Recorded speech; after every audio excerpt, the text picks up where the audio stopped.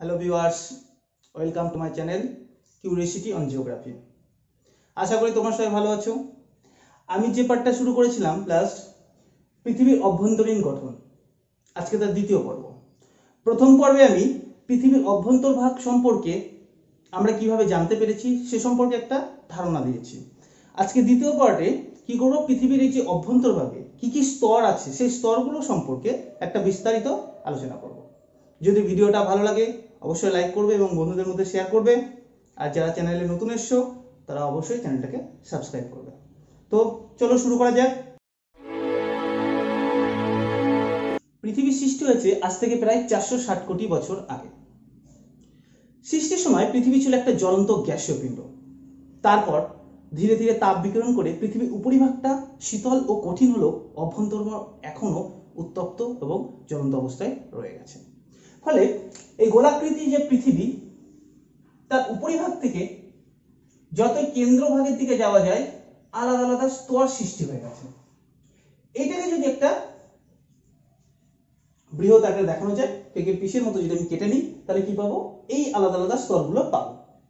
কি দেখি সেই স্তরগুলো? তা, আমি আগের ভিডিওতে বলেছিলাম যে, কি করে জানতে পেরেছি পৃথিবীর অভ্যন্তর ভাগ সম্পর্কে? সবচেয়ে বড় যেটা ছিল, সেটা হচ্ছে ভূকম্প তরঙ্গের গতিবিধি। অর্থাৎ ভূকম্প তরঙ্গের প্রতিসরণ কোণের ভিত্তিতে আমরা পৃথিবীর অভ্যন্তরভাগে আলাদা আলাদা স্তর পেয়েছি। প্রধান তিনটে স্তরের কথা বলা হয়েছে। কি? ভূত্বক গুরুমণ্ডল, কেন্দ্রমণ্ডল। অর্থাৎ পৃথিবীর একেবারে উপরিভাগটা যে কঠিন আবরণ দ্বারা গঠিত, এই স্তরটাকে বলা হয় ভূত্বক এর গভীরতা কত? তাই যদি জিরো থেকে ধরি, তাহলে তিরিশ কিলোমিটার পর্যন্ত। অর্থাৎ পৃথিবীর পৃষ্ঠ থেকে ভূঅভ্যন্তরে তিরিশ কিলোমিটার পর্যন্ত, উপরের এই যে কঠিন হালকা স্তরটা হলো ভূত্বক এটা খণ্ড খণ্ড অংশে বিভক্ত, যেগুলোকে এক একটা খণ্ডকে বলা হয় পাত বা প্লেট। ওকে এই ভূত্বকটা উপাদানগত দিক থেকে দুটি ভাগে বিভক্ত। একটা হচ্ছে শিয়াল, আর নিচেরটা হচ্ছে সীমা। কেন এই নাম হলো? শিয়াল কেন হলো? শিয়াল হচ্ছে, দেখো এসআই এল এখানে সিলিকা আর অ্যালুমিনিয়ামের পরিমাণ। সবচেয়ে বেশি পরিমাণে থাকায় পৃথিবীর একদম উপরের ভূত্বকটাকে বলা হয় শিয়াল। আর তার নিচে, অর্থাৎ সাগর বা মহাসাগরের তলদেশে যে ভূত্বকটা রয়েছে, সেখানে কি কি আছে বেশি পরিমাণে? সিলিকা আর ম্যাগনেসিয়াম। অর্থাৎ সিলিকা এবং ম্যাগনেসিয়াম ভারী উপাদান দ্বারা গঠিত, এই স্তরটা হলো সীমা। তাহলে এই ভূত্বকের দুটো অংশ শিয়াল সীমা। শিয়াল তাহলে কি? শিয়াল কোথায় রয়েছে? না, মহাদেশীয় ভূত্বকগুলো। অর্থাৎ স্থলভাগ দ্বারা গঠিত যে ভূত্বকগুলো, সেইগুলো হচ্ছে শিয়ালের মধ্যে পড়ছে। সীমা কি? না, মহাসাগরের তলদেশীয় যে ভূত্বক, সেটা হচ্ছে সীমা। ওকে? তাহলে এই শিয়াল সীমা যে রেখা দ্বারা বিভক্ত হয়েছে, এই বিভক্ত হওয়া রেখাগুলোকে বা বিচ্ছিন্নকারী রেখাগুলোকে কি বলা হয়? বিযুক্তি রেখা। সেরকম ভাবে ভূত্বকের যে দুটো অংশ বা দুটো স্তর আলাদা আলাদা, সেটা কোন স্তর, কোন রেখা দ্বারা বিযুক্ত রেখা দ্বারা বিভক্ত হয়েছে? সেটা হচ্ছে কনরাড বিযুক্তি রেখা। ওকে এই কনরাড ভূবিজ্ঞানী, কনরাড, অস্ট্রিয়ার ভূবিজ্ঞানী কনরাড উনিশশো পঁচিশ খ্রিস্টাব্দে এই স্তরটা আবিষ্কার, স্তর দুটো আবিষ্কার করেন এবং বিচ্ছিন্ন রেখাটা বা বিযুক্তি রেখাটা আবিষ্কার করেন। তাই তার নাম অনুসারে এটাকে বলা হয় কনরাড বিযুক্তি রেখা। ক্লিয়ার তাহলে এই ভূত্বকটা কি বললাম? না পৃথিবীর একদম উপরের হালকা কঠিন স্তর যেটা নিচে গুরুমণ্ডল স্তরের উপর ভাসমান অবস্থায় রয়েছে। এই স্তরটা কি কি উপাদান দ্বারা গঠিত? সিলিকা অ্যালুমিনিয়াম আর সিলিকা ম্যাগনেসিয়াম স্তর দ্বারা গঠিত। ক্লিয়ার তাহলে এই স্তরের গভীরতা কত? জিরো থেকে তিরিশ কিলোমিটার। তবে একটা জিনিস মাথায় রাখতে হবে। দেখো যেখানে ভূত্বক মহাদেশীয় ভূত্বক আছে, অর্থাৎ শিয়াল আছে, সেখানে গভীরতা কিন্তু বেশি। এটা কখনো কখনো ষাট কিলোমিটার হয়ে যেতে পারে। আর যেখানে মহাসাগরীয় ভূত্বক অর্থাৎ সীমাটা রয়েছে, তার নিচে গভীরতা কখনো কখনো পনেরো কিলোমিটারও হতে পারে। ওকে? তো গড়ে গভীরতা হচ্ছে তিরিশ কিলোমিটার। এটা হলো ভূত্বক বা ক্রাস্ট। তারপরে আসব নিচের স্তর।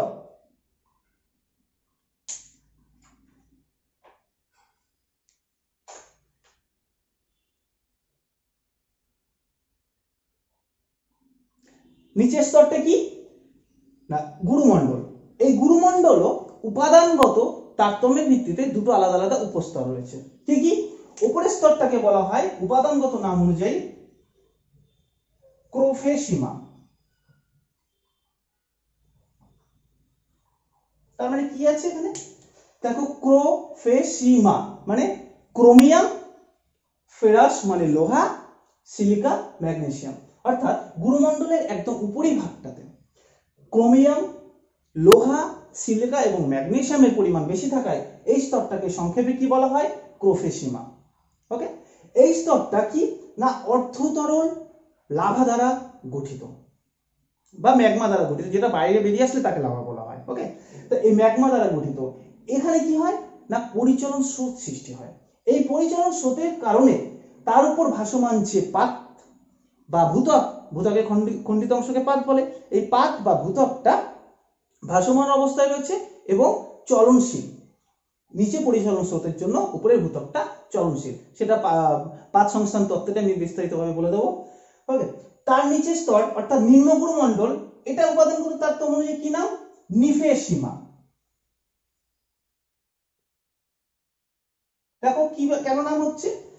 Nickel, ferrous, silica, magnesium. অর্থাৎ নিকেল, ফেরাস, সিলিকা, ম্যাগনেসিয়াম থাকা একে সংক্ষেপে কি বলা হয়? নিফেসীমা। অর্থাৎ নিম্ন গুরুমণ্ডলটাকে বলা হয় নিফেসীমা। তাহলে এই গুরুমণ্ডলটা যা দুটো ভাগ, প্রফেসীমা, নিফেসীমা, বা ঊর্ধ্ব গুরুমণ্ডল, নিম্ন গুরুমণ্ডল, তাহলে এই গুরুমণ্ডল আর ভূতক বিচ্ছিন্নকারী যে বিযুক্তি রেখা, সেটাকে কি বলা হয়? মোহর ভিসিক বিযুক্তি রেখা, সংক্ষেপে এটাকে মোহ বিযুক্তি রেখাও বলা হয়। কে আবিষ্কার করে? না, উনিশশো নয় সালে যুগোস্লোভিয়ার ভূবিজ্ঞানী অ্যান্ড্রিজ মোহরভিসিক তার নাম অনুসারে এটাকে বলা হয় মোহরভিসিক বিযুক্তি রেখা ঠিক তাহলে এই বিযুক্তি রেখাটা যদি বলা হয় কত কিলোমিটার গভীরে রয়েছে? না, তিরিশ কিলোমিটার। ভূপৃষ্ঠ থেকে তিরিশ কিলোমিটার গভীরে রয়েছে এই মোহরভিসিক বিযুক্তি রেখা আর যেটা বললাম গুরুমণ্ডল ঊর্ধ্ব গুরুমণ্ডল আর নিম্ন গুরুমণ্ডল অর্থাৎ আপার ম্যান্টেল বা লোয়ার ম্যান্টেলের মধ্যে যে বিভেদকারী রেখা যে বিযুক্তি রেখা, সেটাকে বলা হয় কি? রেপিত্তি বিযুক্তি রেখা। কারণ ভূবিজ্ঞানে রেপিত্তি এটা আবিষ্কার করে এটা একটা কথা বলে রাখি, এই বিযুক্তি রেখাটা প্রায় সাতশোর কাছে থাকলেও, এটা মোটামুটি ছশো ষাট কিলোমিটারের কাছে রয়েছে। তাই একে ছশো ষাট কিলোমিটার বিযুক্তি রেখাও কিন্তু বলা হয়। ওকে? এর শর্ট কোশ্চেন আসে কিন্তু। রেপিত্তি বিযুক্তি রেখার আরেক নাম কি? ছশো ষাট কিমি বিযুক্তি রেখা। ওকে? তাহলে এই হলো আমার ভূতক আর গুরুমণ্ডল। ক্লিয়ার এবার আসি কি? কেন্দ্রমণ্ডল। তাহলে ভূত্বক গুরুমণ্ডলের নিচে, অর্থাৎ দু নশো কিলোমিটার নিচ থেকে পৃথিবীর কেন্দ্রমণ্ডল। কোথায়? না, পৃথিবীর কেন্দ্র পর্যন্ত। কত পৃথিবীর কেন্দ্র? ছ হাজার বা সত্তর ধরা হয়। পৃথিবী ভূপৃষ্ঠ থেকে ছ হাজার তিনশো একাত্তর কিলোমিটারে রয়েছে পৃথিবীর কেন্দ্র। তাহলে দু হাজার নশো পর্যন্ত হচ্ছে আমাদের গুরুমণ্ডলের বিস্তার। তাহলে গুরুমণ্ডল দু হাজার নশো থেকে ছ হাজার তিনশো একাত্তর কিলোমিটারের মধ্যে রয়েছে কেন্দ্রমণ্ডল বা কোর। দেখো কোনো জিনিস, মনে করো একটা গ্লাসে তুমি হালকা উপাদান মানে কাদা, বালি, ইটের টুকরো, লোহার টুকরো যদি মিশিয়ে দেওয়া হয়, কিছুক্ষণ পর যখন থিতিয়ে পড়বে, কি হবে না ভারী টুকরো মানে লোহার টুকরো সবার নিচে চলে যাবে? একই রকমভাবে পৃথিবী যখন এই জ্বলন্ত গ্যাসীয় পিণ্ড থেকে ধীরে ধীরে শীতল হতে থাকে এবং উপরিভাগটা শক্ত হয়ে যায়, ফলে যে যত কঠিন এবং ভারী উপাদানগুলো পৃথিবীর একদম কেন্দ্রে রয়েছে এবং অত্যাধিকভাবে চাপের দরুন সেগুলো আরও চাপে রয়েছে এবং সেখানে পদার্থের ঘনত্ব অনেক বেড়ে গেছে এবং তাপও অনেক বেড়ে গেছে। ওকে তাহলে কি কি? এই কেন্দ্রমণ্ডল, বিশেষ করে অন্তঃকেন্দ্রমণ্ডল, একদম কেন্দ্রমণ্ডলের ভিতর তার অন্তঃকেন্দ্রমণ্ডলে কি রয়েছে? এটাকে কি বলা হয়? নিফে। কেন এই না কারণ নিকেল আর ফেরাস এই স্তরে সবচেয়ে বেশি পরিমাণে রয়েছে। তাই একে বলা হয় সংক্ষেপে নিফে। এই কোশ্চেনগুলো কিন্তু তোমাদের আলাদা আলাদা পরীক্ষা আছে যে শিয়াল কি, সীমা কি, এদের মধ্যে পার্থক্য বলা হয়। ক্রোফে সীমা, নিফে সীমা কি? বা নিফে কি? তাহলে নিফে কি কেন্দ্রমণ্ডলে, বিশেষ করে অন্তঃকেন্দ্রমণ্ডলে, যে নিকেল আর ফেরাস অর্থাৎ লোহা সবচেয়ে বেশি পরিমাণে থাকায় এটাকে বলা হয় নিফে স্তর। তাহলে এই যে গুরুমণ্ডল আর কেন্দ্রমণ্ডল, এটা বিচ্ছিন্নকারী যে রেখা? সেটা, যে বিচিত্তি রেখা? সেটা জার্মান ভূতত্ত্ববিদ উইচার্ড গুটেনবার্গ আবিষ্কার করে কত উনিশশো বারো সালে এবং তার নাম অনুযায়ী এটা নাম হয় গুটেনবার্গ বিযুক্তি রেখা। তাহলে কত কত কিলোমিটার রয়েছে গুটেনবার্গ বিযুক্ত রেখা? দু কিলোমিটারে। ওকে তাহলে কেন্দ্রমণ্ডলকেও দুটো ভাগে ভাগ করা যায়। একটা হচ্ছে বহি কেন্দ্রমণ্ডল, আর একটা হচ্ছে অন্ত কেন্দ্রমণ্ডল অর্থাৎ আউটার কোর বা ইনার কোর এই আউটার কোর ইনার কোর অর্থাৎ বহি কেন্দ্রমণ্ডল অন্ত কেন্দ্রমণ্ডল যে বিভেদকারী, যে বিযুক্তি রেখা, সেটা নাম দেন লেহম্যান বিযুক্তি রেখা লেহম্যান ভূবিজ্ঞানী লেহম্যান ওনার নাম অনুসারে এটা উনিশশো ছত্রিশ সালে উনি আবিষ্কার করেন। ওনার নাম অনুসারে এটার নাম হয় লেহম্যান বিযুক্তি রেখা ওকে অর্থাৎ বিযুক্তি রেখা বলতে কোনগুলো বুঝব? না, পৃথিবীর অভ্যন্তরভাবে যে স্তরগত, যে আলাদা আলাদা স্তর রয়েছে, সেই বিচ্ছিন্নকারী রেখাটা, যার উপর নিচে উপাদানগত ঘনত্ব এবং ভূকম্প তরঙ্গের গতিবেগ পরিবর্তন হয় যে স্থান বরাবর, সেইটা হচ্ছে বিযুক্তি রেখা ওকে তাহলে এই বিযুক্তিগুলো রেখাগুলো পেলাম আর এই স্তরগুলো আমরা পেলাম ক্লিয়ার এবার একটা জিনিস বলে রাখি, এই যে ঘনত্ব তার মানে একটা জিনিস ভাবতে হবে, ভূত্বক থেকে যত কেন্দ্রের দিকে যাওয়া যাবে, তত পদার্থের ঘনত্ব কিন্তু বেড়ে যাবে। তো দেখা যাচ্ছে ভূ, ভূত্বকের ঘনত্ব মোটামুটি টু পয়েন্ট সেভেন থেকে two point nine gram per ঘন সেমি অর্থাৎ সেখানে গুরুমণ্ডলের ঘনত্ব কত? না, প্রায় থ্রি পয়েন্ট ফাইভ থেকে five point five gram gram per ঘন সেমি সে জায়গায় কেন্দ্রমণ্ডলের ঘনত্ব আরও বেশি। কত?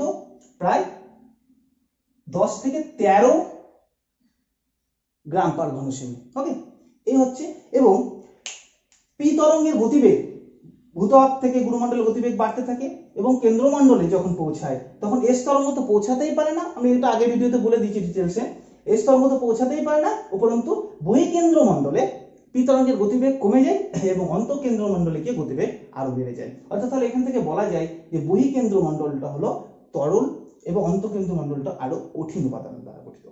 আর কি বললাম? গুরুমণ্ডল। গুরুমণ্ডলে কীরকম অবস্থায় রয়েছে? না গুরুমণ্ডলে একদম উপরিভাগটা অর্ধতরল, সান্দ্র, ম্যাগমা দ্বারা গঠিত। যে ম্যাগমাতে কি হয়? পরিচলন স্রোত সৃষ্টি হয়। তার জন্য কি হয়? তার উপর ভাসমান ভূত্বকটা বা খণ্ডিত ভূত্বকগুলো যা পাত নামে পরিচিত, সেগুলো চলনশীল হয়। এবং একে অপরের সাথে কখনো ধাক্কা মারে, যেটাকে অভিসারী পাত সীমানা বলা হয়। একে অপরের থেকে দূরে সরে যায়, যেটাকে প্রতিসারী পাত সীমানা বলা হয়। ওকে? কখনো একে অপরের থেকে পাশ কাটিয়ে চলে যায়, সেটাকে প্রতিগামী পাত সীমানা বলা হয়। আমি এই জিনিসগুলো পাতে, পাত সংস্থান তত্ত্বে ডিটেলসে বলব। ঠিক আছে? তবে এই ঊর্ধ্ব গুরুমণ্ডলের একেবারে উপরের অংশে এই স্তরটাতে যেখানে পরিচালন স্রোতটা হয় বেসিক্যালি সেই স্তরটাকে কি বলা হয়? অ্যাস্থেনোস্ফিয়ার অর্থাৎ মোটামুটি একশো থেকে আড়াইশো কিলোমিটারের গভীরতার মধ্যে রয়েছে এই স্তর অ্যাস্থেনোস্ফিয়ার এই স্তরে যখন ভূকম্প তরঙ্গ প্রবেশ করে, তার গতিবেগ কিন্তু কমে যায়। তাই একে লো ভেলোসিটি জোন বলা হয়। ওকে তাহলে যদি আমি পার্থক্যগত দিকগুলো ধরি, যেমন ভূত্বকের যে দুটো অংশ বললাম, একটা শিয়াল, একটা সীমা। এই শিয়াল সীমার মধ্যে যদি পার্থক্য করা হয়, তাহলে কি বলব? শিয়াল সীমা। দেখো, এর মধ্যে ভারী কে না সীমা? যে নিচে রয়েছে সে ভারী। তাহলে, এটা শিয়ালটা হচ্ছে মহাদেশীয় পাত, আর বা ভূতক আর সীমা হচ্ছে মহাসাগরীয় ভূতক ওকে তাহলে এই শিয়াল সীমার মধ্যে, শিয়াল হলো হালকা, সীমা হলো শিয়ালের তুলনায় ভারী ভূতক ওকে শিয়ালের প্রধান উপাদান কি রয়েছে? সিলিকা ও অ্যালুমিনিয়াম। সীমাতে কি রয়েছে? সিলিকা ও ম্যাগনেসিয়াম। এটা সাধারণত গ্রানাইট জাত, জাতীয় হালকা শিলা দ্বারা গঠিত। আর সীমা কি? ব্যাসল্ট জাতীয় ভারী শিলা দ্বারা গঠিত ওকে এই হলো আর গভীরতা দিক এছাড়া অনেক কিছু বিষয়গুলো রয়েছে। তাহলে এই হচ্ছে আমাদের পৃথিবীর অভ্যন্তর ভাগের যে স্তর এবং প্রধান তিনটি স্তর এবং তার উপস্তর এবং এই বিচ্ছিন্নকারী রেখা বা বিযুক্তি রেখা, তার আলাদা আলাদা নাম সম্পর্কে আশা করি ধারণা হয়েছে প্রত্যেকের একটা। তো ভিডিওটা কেমন লাগল অবশ্যই কমেন্ট করে জানাবে ওকে ভালো থেকো, দেখা হচ্ছে পরের ভিডিওতে।